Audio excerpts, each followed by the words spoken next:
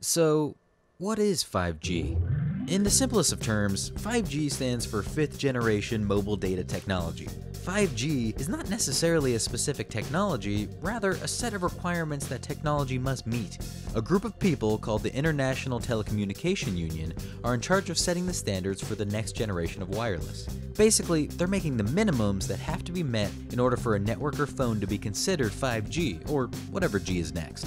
They involve a few metrics, but the most important is speed. If phone companies follow these guidelines and meet the minimum speeds, their respective system can be officially advertised as 5G devices. Most of us have experience using 4G LTE. LTE stands for long term evolution, and it's meant to imply that it's approaching the speeds of 4G standards without actually meeting them. For most phones, this is the most advanced G they can currently achieve. But eventually, the ITU speeds will be met, and that's when you start to see murmurings of these next generation phones. 5G is, of course, the new standard, and it's finally here. 5G is fast.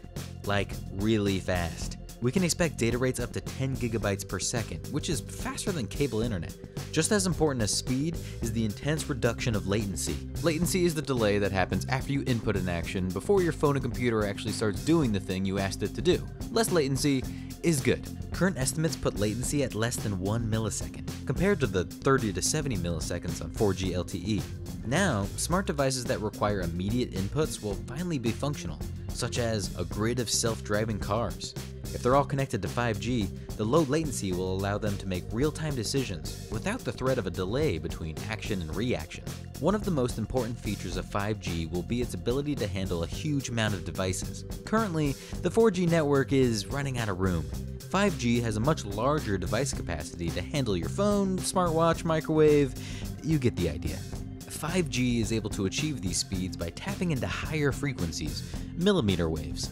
These frequencies are basically unused. Think of it as an empty highway that your phone's network can fly down.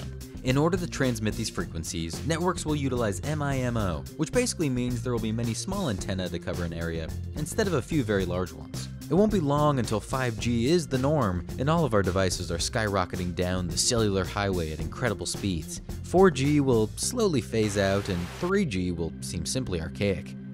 I mean, seriously, what are we, animals?